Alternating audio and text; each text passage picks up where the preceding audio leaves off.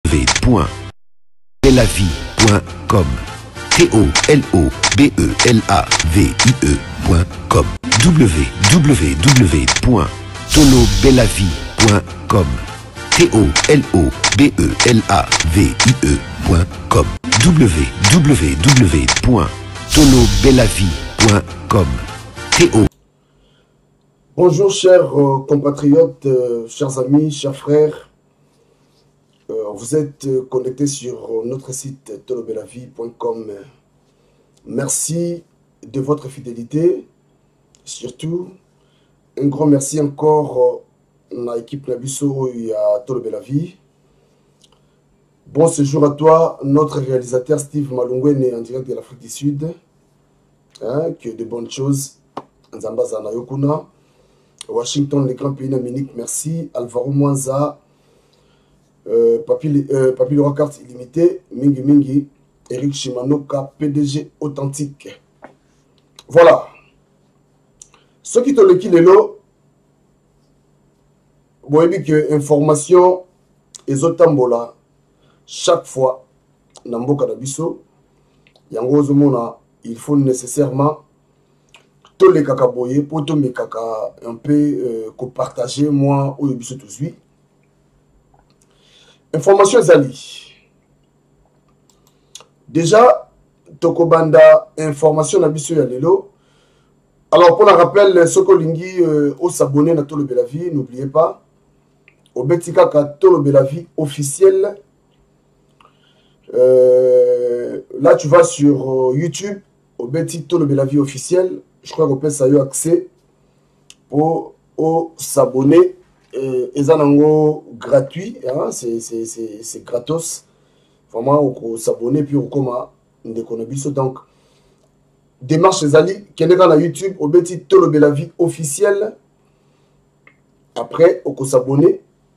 ekopesa yo omona mwa place moko akomi ka s'abonner soki oklike wana eza nango gratuit okomi euh, ami na biso soit tosali eloko na 6 heures juste yo mpe ekomi na 6 heures juste donc euh, c'est juste ça mpona tomekaka kokabola mwa bainformation et puis euh, n'oubliez pas surtout ya kopartage baémission na biso euh, partageant na facebook na yo na whatsapp na yo na imo vraiment na ba réseaux sociaux nyonso partager parce que tu as besoin il faut message ekomaka en tout cas merci na confiance bopesa biso merci na bino tu as besoin ya balike na bino hein, mwa ko c'est à dire oaime video olike hein, mwa bacommentaire mpe ya bien ezalaka mwa malamu mingi donc euh, bo bobetisa mabaku te soki omona bacommentaire eza désactivé parce que toboyi bato bazali na mauvaise intention bato baza eh, baza euh, baza na makanisi moko ya mabe donc nous voulons pas de ça c'est pourquoi tolingi tokenda no boye après ndenge bato bazoloba mikolo oyo babi bakomesana bokomesa donc après euh, il y aura un temps peut-être euh, pourquoi pas ya kofongola makambo wana nyonso mais euh, dans un premier temps tokende mwa boye pour ne pas décourager les autres pour ne pas euh, euh, euh, kolamusa bato mosusu balalaki ya bamakambo oyo boye ezanga ntina donc euh, incitation à la haine yango moi tokende boye voilà élection esalamaki lelo na mboka na biso ya basénateur donc joseph kabila l'autorité morale ya fcc ye wana je crois bozomona déjà afélicité famille na ye famille politique na ye afélicité bango apesi bango vraiment longonia donc euh, le fcc se félicite de sa victoire éclatante parce que bango mpenza babattre record na ndenge moko ya kosakana ya, ya kosakana te tokozongela yango euh, toujours na cadre ya émission toza kosolola oyo parce que eza important alors euh, alexis tambwe mwamba tambwe mwamba ye wana alexis tambwe mwamba ye na matata mponio je crois hein, toloba betise te voilà donc euh, sénatorial alexis tambe mwamba na matata mponio parmi les quatre élus na maniema hein, bango babimi kuna na maniema alexis tambo mwamba euh, tokozongela yango tokomi kobeta mwa euh, masolo wana euh, boyeba ke lelo bana ya paris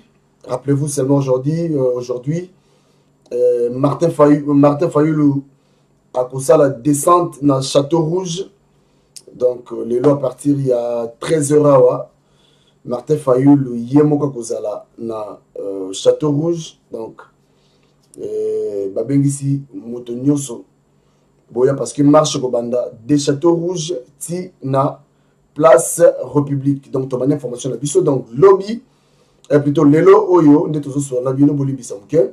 lelo martin fayulu akowuta suisse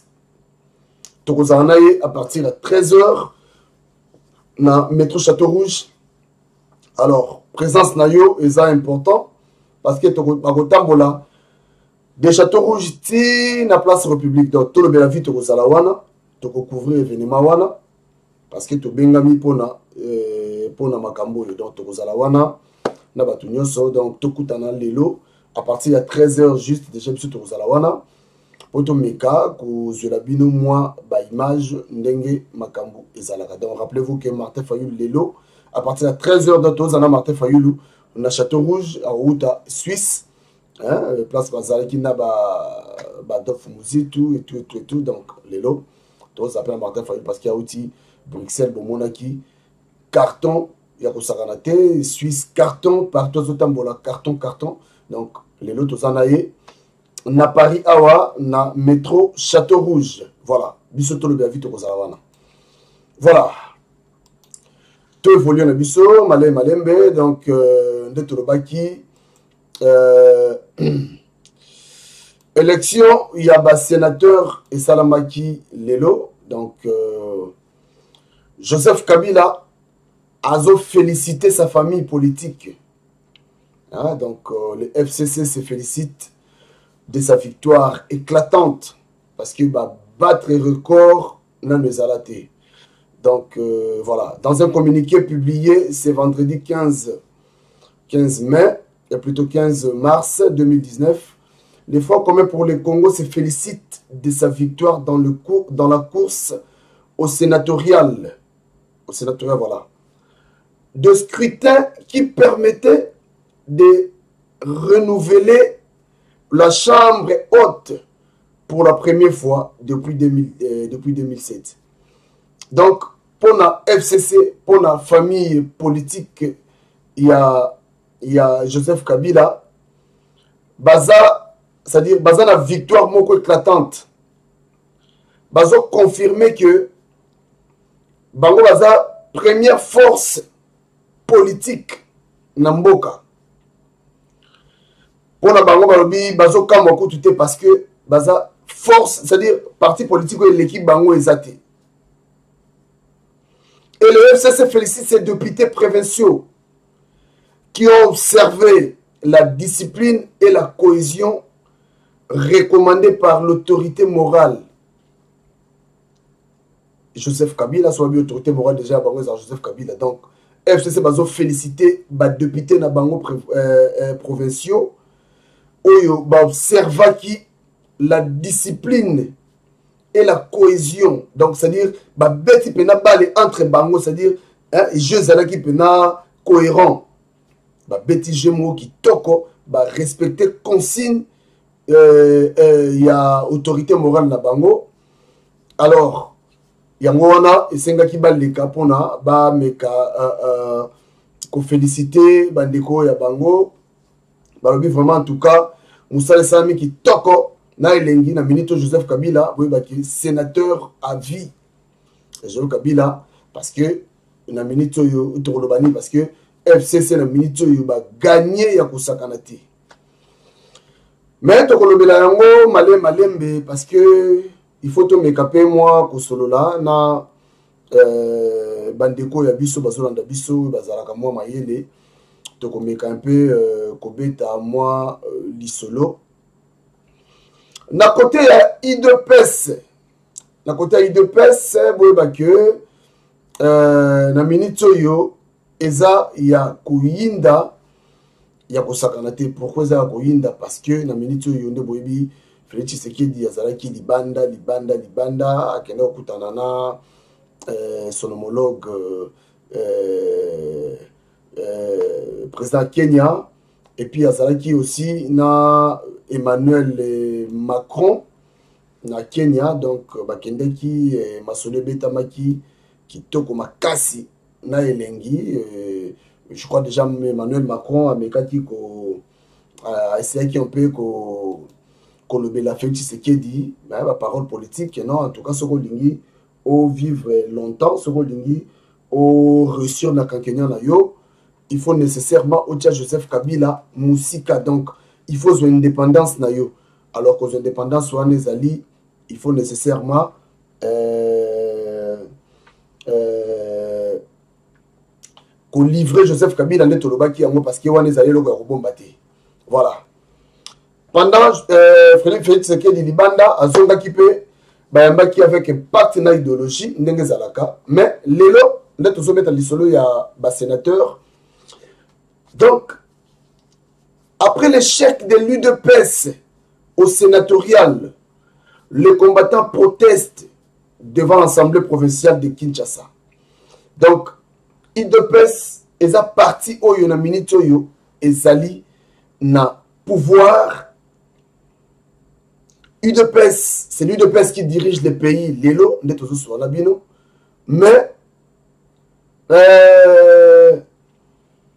ata depute moko cestadi ata membre moko ya idps oyo banome comme sénateur aza te suite à l'échec total bazobenga yango échec total donc suite à l'échec total pour euh, euh, suite à euh, l'échec total de l'udps l'union pour la démocratie et le progrès social aux élections sénatoriales oyo esalamaki lelo vendredi le 15 mars 2019 dans 24, euh, dans 24 provinces les militants du parti ont envahi les sièges, euh, le siège de l'Assemblée provinciale de Kinshasa dans la commune de la Gombe pour manifester leur colère. Donc, bandeko ya UDPS lelo bakitaki na terrain C'était juste pour manifester leur colère, pour manifester leur mécontentement. Parce que baza mécontent na makambo eleki balobi c'est-à-dire tricherie oyo esalami nano bamona yango te donc la, la, la, euh, la rdc n'a jamais connu un tel processus électoral une fraude généralisée généralisée tolobi bien partout à tous les niveaux notre histoire ne reconnaît pas une telle corruption donc nde tobandaki koloba keno bato oyo ya fcc baza très bien préparé par tous les moyens bazalaki bien préparé par tous les moyens donc souci na bango ezalaki il faut babattre record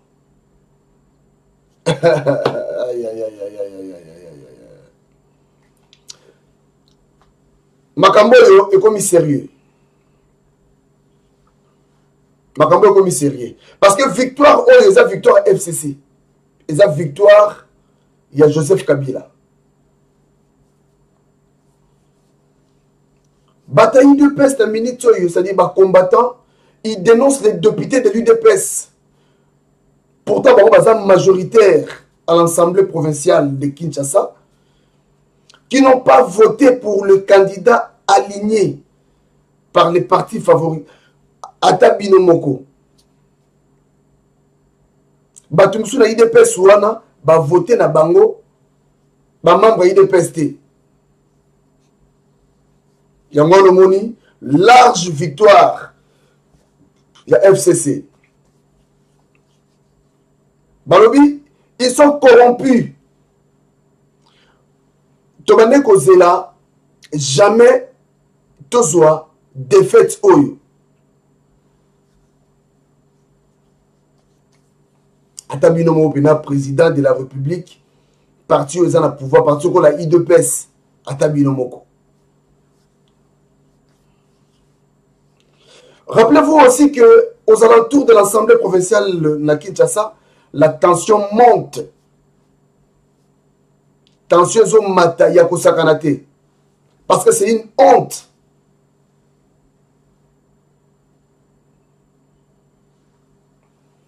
balobi Batu oyo ils savaient même pas comment préserver le valeur du parti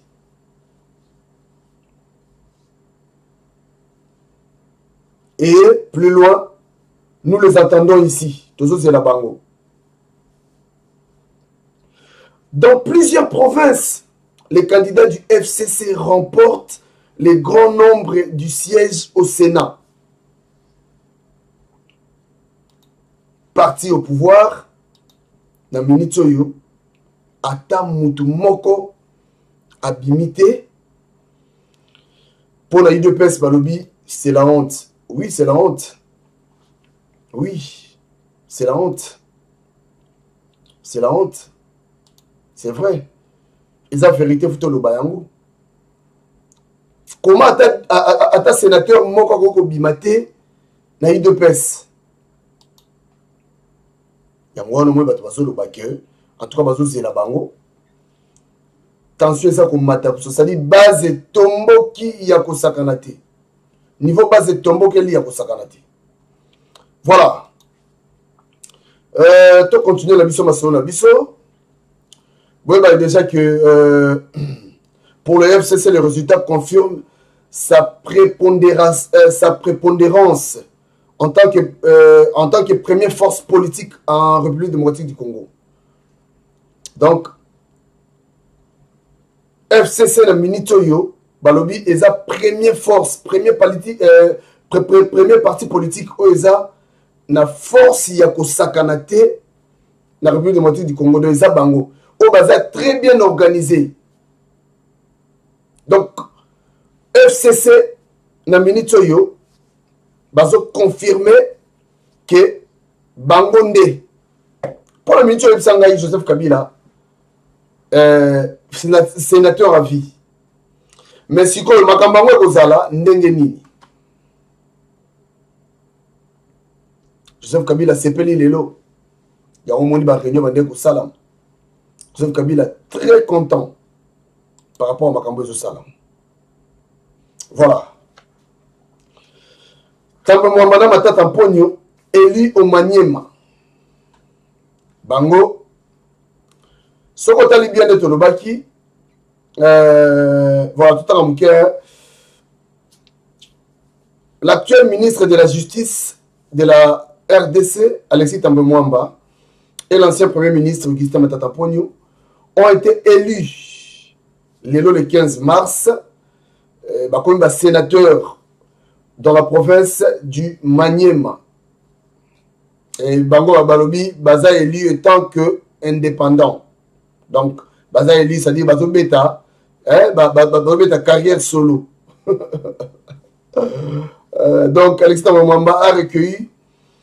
sept voix suivi d'augustin matata mponio ye azwaki six voix tala vraiment alexis tambo mwamba azwa sept voix voilà euh, jérôme bikenge na jean marie asumani bango bazali bato oyo ya parti ya pprd bango nde bato babimi ba kuna na maniema de l'autre côté encore euh, andre kimbuta yango ya andre na biso kaka oyoyo eli sénateur na kwango Hmm. Le gouverneur de la ville de Kinshasa est député national de la circonscription, de la circonscription de la Chango André Kimbuta Yango a été élu sénateur de la province du Kwango. Donc, André Kimbuta Minitoyo Azali vraiment élu étant euh, sénateur na Kwango. Bon, soki otali omona mpe lisusu euh, ah, ah, ah, ah, nayebisi yo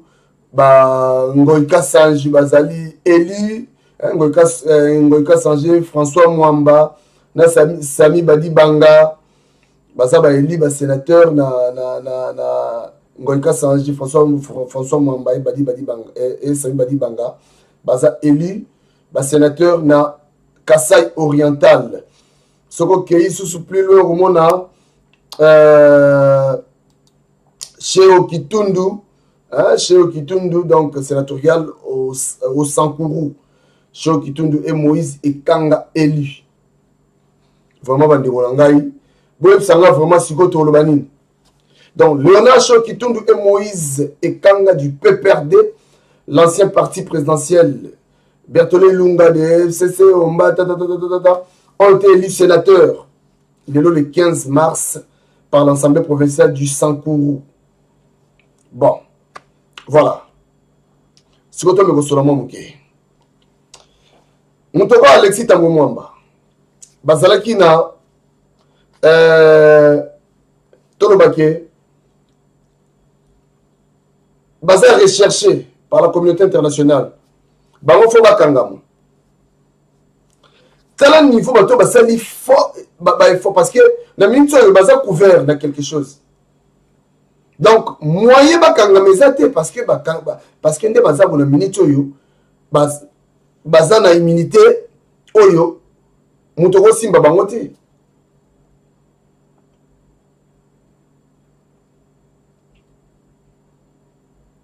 niveau ya fraude électorale oyo esalami na congo nanu tomona fraude ya boye te fraude électorale esalami na niveau ya kosakana te eloko bato bandaki kobanga yango ta lelo oyo makambo tobandaki kobanga ekoki ekokisami fcc baza majorité oyo eza na donc c'est-à-dire na parlement na assemblée bango na sénat bango premier ministre soki ndenge nini finalement changement yango eza mwa genre hein? ya mwa genre parce que nayebi te président otravaille ndenge nini je sais pas yango wana omoni totika no mama kofinga totala no mama mboka na biso hein? essayons un peu de d'aider notre, notre président na minute oyo parce que c'est un congolais lokola biso tomeka nanu kotya miso na biso epai na ye tomeka nano kosunga nano mboka na biso voilà information yango wana bandeko esalamaki euh, élection esalamaki lobi bato bomoni wana babimi deja basi babimi donc babimi na bango donc tambo mwamba abimi na maniema abeti kutu likolo tokomi na suka rappelez-vous aussi que joseph kabila na minute oyo azobaye champagne donc le fcc se félicite de sa victoire éclatante victoire oyo ya corruption ya niveau ya kosakana te tala mboka ndenge ezokende yo soki olali tala makambo yango eza boye udps base etelemi ya kosakana te base balobi jamais makambo ekosalama base ya udps batelemi lobi na butu ezalaki somo ya kosakana te base bakei donc reste connecté na tolobela vie so tozwi information toleki mpo tomeka kosola na bino euh, boyeba ke lelo nde tolobi wana euh, tozokutana très bientôt na mwana mboka martin fayulu madidi hein, euh, akomarche na peuple congolais donc euh, de château rouge ti na place République, place oyo makambo ekosuka yango wana. Donc d'ici là, portez-vous bien, restez connectés na Tolobe la vie. Kobosana te soki olingi osabonne facilement et rapide kende kaka na tolobela beta kaka tolobela vie officielle ekopesa yo accès je crois que okosabonne eh, facile et puis rapidement donc d'ici là botikala malamu tokutana à partir ya 21 heure lelo na 21 heure tozala na bino en direct mpo tomeka kosolola makambo oyo nyonso tout mais avec moi respect bopesa biso mpe mwa chance eh, tosala mosala yango mpe mwa bien parce que bopesa biso chance te yango moi moi tosala mosala mpe malamu malamu mpenza eza te eh, donc bopesa biso mpenza mwa chance parce que toana besoin ya chance na bino merci beaucoup L-O-B-E-L-A-V-I-E.com www.tolo